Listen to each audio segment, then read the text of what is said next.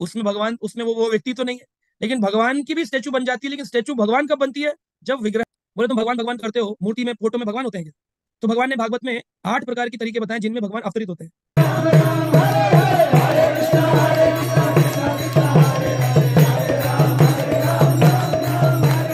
इसमें भगवान को ही मानना चाहिए तो दोनों चीज़ें ही हैं। प्रभुपा जी ने जब वृंदावन में कृष्ण बलराम विग्रह की स्थापना करी तो प्रभुपा जी ने कर्मकांडी ब्राह्मणों को बुलाया और कहा, प्राण प्रतिष्ठा करिए, मंत्र उच्चारण करिए। और साथ साथ में प्रभुपाद जी ने उनके एक भक्त थे, जिनका नाम था ऐन्द्रा प्रभु।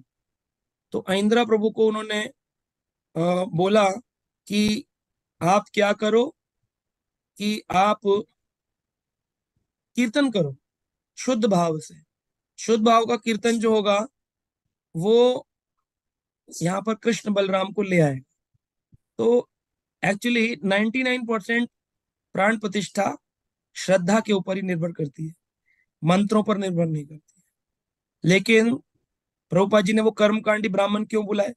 तो उन्होंने बोला, क्योंकि अगर हम ये नहीं करेंगे तो जो बाहर की कम्युनिटी है, जो कर्मकांड को ही धर्म मानती है, वो कम्युनिटी हमें क्रिटिसाइज करेगी कि ये लोग नए, नई रीति रिवाज लेकर आए। है ना? क्योंकि उनको नाम पे, नाम के बल पर उतनी उन पे उतना आस्था नहीं है नाम के प्रति। तो प्रभुपा जी ने कहा, जो नाम, भगवान हरि नाम के उच्चारण से ही विग्रह में आते हैं, और अगर आप सेवा प्रॉपर नहीं करोगे तो भगवान चले भी जाएँगे।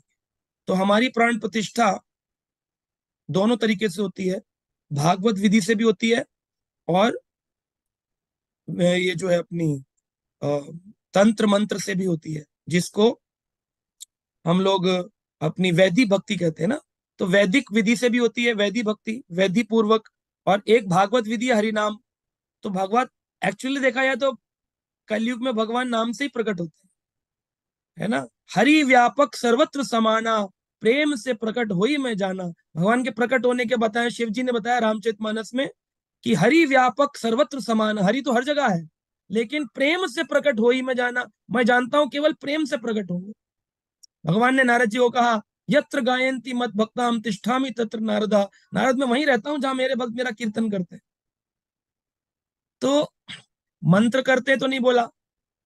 ये तो नहीं बोला जहाँ पे प्राण प्रतिष्ठा यज्ञ होगा, हवन कुंड होगा, वहाँ होगा तो भगवान ने कहा, मैं वहाँ होऊँगा जहाँ कीर्तन होगा, मेरे भक्त होंगे।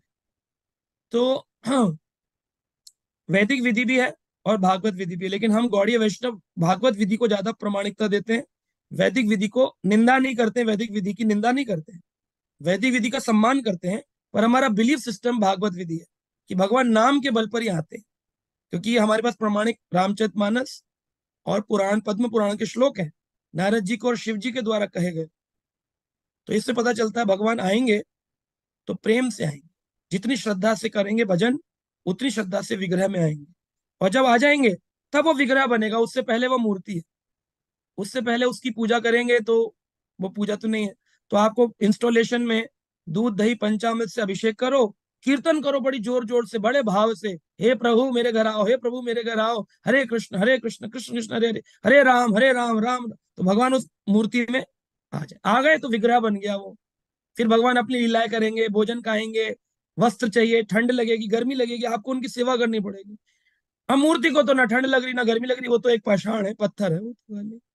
कार्व करके स्टैचू, महात्मा गांधी की स्टैचू भी खड़ी है, सुभाष चंद्र बोस की भी है, इनकी भी है अपने, सरदार वल्लभ भाई पटेल की लॉन्गेस्ट स्टैचू लेकिन वो विग्रह तो नहीं, उसमें भगवान, उसमें वो वो व्यक्ति तो नहीं है, लेकिन भगवान की भी स्टैचू बन जाती है, लेकिन स्टैचू भगवान कब बनती है? जब विग्रह में प्राण प्रतिष्ठा प्राण प्रतिष्ठा कैसे होती है? श्रद्धा के बल पर, नाम के बल पर। ओके तो प्रभु जी तो जैसे मान लीजिए कोई स्टैचू है कोई पीओपी की भगवान की कोई तस्वीर है कोई कार्विंग तो उसको हम ऐसे ही वो हम ये नहीं बोल सकते कि ये विग्रह है ऐसे विग्रह है पर भगवान का हम छवि संस्कृत उसको क्या हम प्रणाम करने तो योग्य रहेगी? ऐसे नहीं हाँ हाँ बिल्कुल प्रणाम कर अच्छा, सकते हैं हाँ। क्योंकि भगवान का स्वरूप तो है। भगवान की जैसा एक दिख तो रहा है हमको जैसे एक बार किसी राजा ने पूछा बोले तुम भगवान भगवान करते हो? मूर्ति में फ़ोटो में भगवान होते हैं क्या? भगवान कहा है फ़ोटो में? तो उन्हीं के, उस राजा के पिताजी की एक फ़ोटो लगी हुई थी वहाँ पे। तो साधु खड़ा हुआ, साधु ने मुँह में ऐसे स्पिट करने के लिए, थूकने के लिए ऐसे किया और थूक दिया फ़ोटो के ऊपर। तो राजा ने तलवार निकाली कर क्या करते हो? मेरे पिताजी पर थूका। कर पिताजी कहा है? पिताजी की फ़ोटो है ना?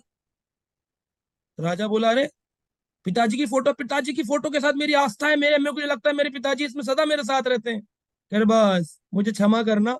जिस तरह तुम्हें अपने पिताजी की फ़ोटो में पिताजी का आभास होता है ऐसे भगवान की फ़ोटो में हमें भगवान का आभास होता है। वो हमारे साथ सदा रहते हैं। है ना? तो हम भगवान तो भगवान ने भागवत में आठ प्रकार की तरीके बताए जिनमें भगवान अवतरित होते हैं। तो भगवान ने बोला शैल्या लोही दारुमयी सेक्या ले, लेखसी लेपसी मणुमयी मणिमयी अष्टविधा प्रतिमा माम। आठ प्रकार की मेरी प्रतिमा होती तो उसमें भगवान ने शैली यानी पत्थर, लोही यानी मेटल, दारू यानी लकड़ी, लेप्या यानी कि ये जो होता है, मिट्टी मिट्टी से जो लेपन करके बनाते हैं। लेखन किया, लेख्या, लेप्या, सेकती यानी बालू, सैंड की मूर्ति और मणोमयी की यानी मणि, मणिमयी, मणि से बनी मूर्ति और मनोमयी, मन में बनाई गई मूर्ति। अष्टविधा प्रतिमा माम। इन प्रतिमाओं में मैं अवतरित हो सकता हूँ। ये आठ प्रकार के कपड़े मुझे अच्छे लगते हैं। अब अब पीओपी नहीं बोला भगवान। कि प्लास्टर ऑफ़ पेरिस में अवतरित होगा है ना? या फिर आप कोई नया मटेरियल ले आओ बनाने के लिए, बोले, इसमें नहीं आएँगे क्या भगवान? तो भगवान के कुछ वैदिक नियम भी हैं, पर सब सर्वोपरि नियम है प्रेम। ये दोनों चीज़ों को लेकर चलना पड़ता okay Prabhu ji thank you Hare Krishna Hare